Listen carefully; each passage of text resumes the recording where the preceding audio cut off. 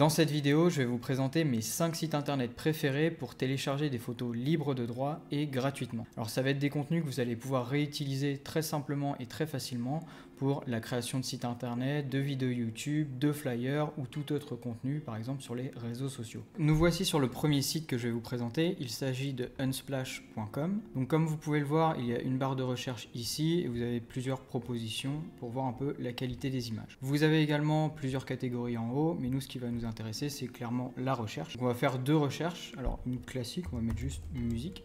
Donc vous voyez, vous avez plein d'images dans différents formats euh, que vous pouvez scroller et récupérer. À savoir aussi que c'est important que en haut ici, vous avez le choix de la licence. Donc je vous conseillerais plutôt de mettre gratuite parce que Unsplash Plus, ça va être le service euh, payant pour acheter des photos.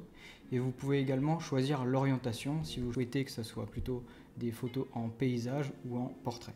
Donc je vais laisser que ça comme ça, et par exemple j'aime bien cette photo, je clique dessus et vous, vous pouvez voir ici qu'il y a téléchargé gratuitement. Vous pouvez également faire le choix de la taille en fonction du fichier dont vous avez besoin et de la qualité d'image que vous souhaitez. Prenons un deuxième exemple. On peut taper par exemple espace de travail, un mot-clé un peu plus complexe. Là, on a également des suggestions de synonymes, bureau, espace de bureau, travailler, etc. Donc ça peut être pas mal pour être un peu plus créatif. Pour ce qui est des droits d'utilisation de l'ensemble des contenus sur Unsplash, alors comme on l'a vu tout à l'heure, vous pouvez les télécharger et les utiliser gratuitement, que ce soit pour euh, des projets commerciaux ou non commerciaux, c'est-à-dire pour votre entreprise ou des projets personnels. Et vous n'êtes pas, obligé de mentionner ou de créditer euh, l'auteur des contenus que vous pourrez récupérer sur le site, même si, comme c'est marqué, c'est fortement apprécié. Il y a seulement deux choses que vous n'avez pas le droit de faire, c'est de revendre directement les photos en les téléchargeant. Et le deuxième élément que vous n'avez pas le droit de faire, c'est cette idée de créer une copie du site en téléchargeant l'ensemble des images pour les remettre sur votre site et proposer le même service. Passons à notre deuxième site. Ici, il s'agit de Pixabay, à peu près le même système. Hein. Comme vous pouvez le voir, image libre de droit et gratuite à télécharger. À la différence qu'ici, c'est que c'est un site beaucoup plus complet où vous aurez des photos, des illustrations, même des euh, fichiers sous forme de vecteurs. Nous, on va rester sur cette idée d'image, mais c'est un site moi que j'utilise pour beaucoup d'autres contenus. On va refaire les mêmes recherches. Alors, on avait fait quoi? On avait fait musique. Donc voilà, un autre système, des résultats différents comme vous pouvez le voir. On retrouve des photos, mais également des photos euh, avec euh, transparence. Vous avez également euh, ici le choix pour l'orientation, horizontale ou verticale, la taille de l'image, si jamais vous avez besoin de quelque chose de très précis. Également les couleurs, alors ça va être des tons, alors si par exemple je choisis bleu, normalement on va revoir cette image là.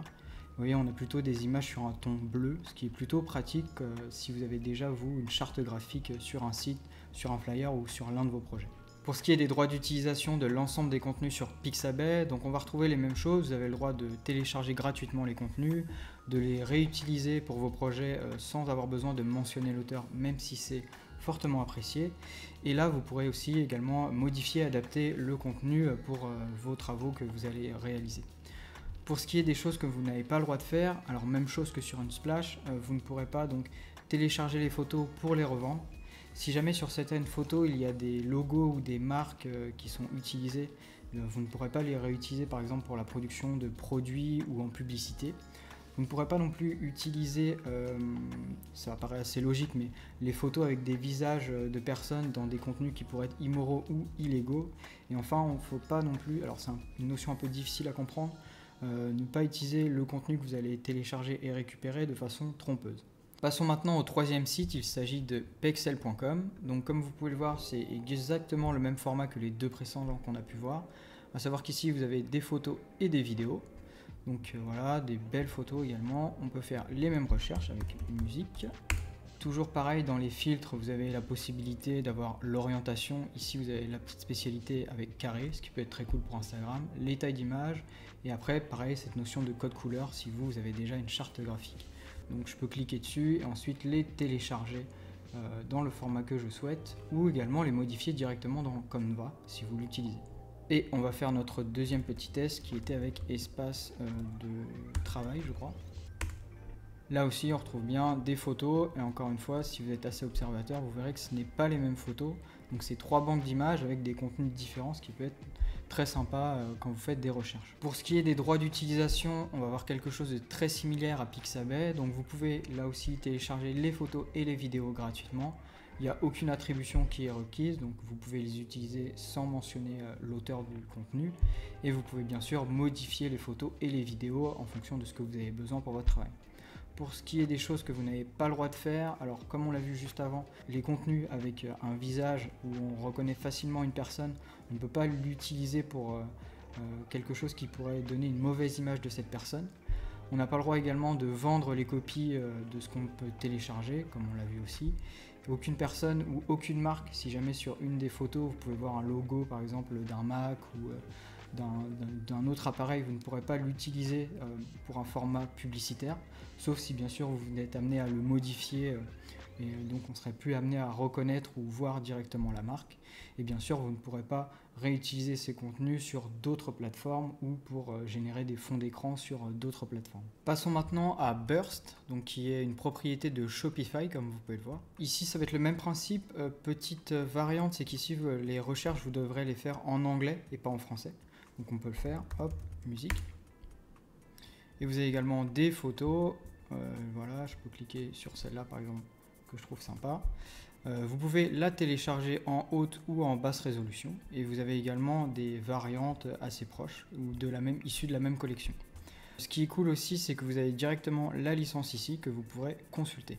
Ce qui va être très pratique aussi sur ce site, c'est que vous allez avoir aussi des collections d'images en fonction de différentes catégories, ce qui va permettre de classer toutes les images euh, qui sont disponibles sur le site. Par exemple, ici, on peut aller sur Home Office qui va se rapprocher de espace euh, de travail, comme on peut le voir. Et donc là, bah voilà, vous avez plein de photos que vous pouvez là aussi télécharger et utiliser gratuitement. Pour ce qui est des droits d'utilisation des images, alors je vous invite à cliquer sur celle qui vous plaît, ensuite d'aller bien vérifier dans licence, ici qui est bien cette mention. Car sur d'autres photos, il y a d'autres formes de licence. Mais globalement, si vous, votre utilisation et votre volonté, c'est de télécharger la photo euh, ou le contenu et de le réutiliser sur un flyer sur un site internet, il y aura toujours cette idée que vous pourrez le télécharger euh, gratuitement, que vous pourrez donc euh, réutiliser comme vous le souhaitez. Et le cinquième site que je voulais vous présenter, ça s'appelle Kaboom Peak. Là aussi, il faudra faire vos recherches en anglais. Même principe, vous avez une large bibliothèque avec des photos de qualité qui sont également très sympas, comme vous pouvez le voir.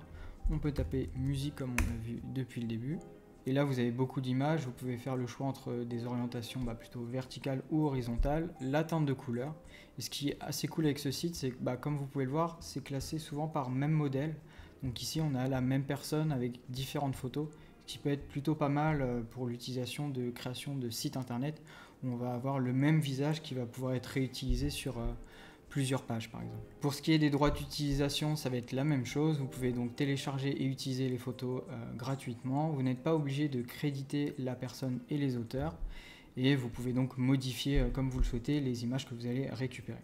Pour ce que vous n'avez pas le droit de faire, bah, comme on l'a vu sur les autres sites, vous n'avez pas le droit de vendre directement la photo si vous ne l'avez pas significativement modifiée. Vous ne pouvez pas donc utiliser euh, les images pour recréer un site similaire. Si jamais il y a des marques qui sont visibles sur certaines photos, il ne faut pas donner cette impression que euh, la marque valide votre contenu.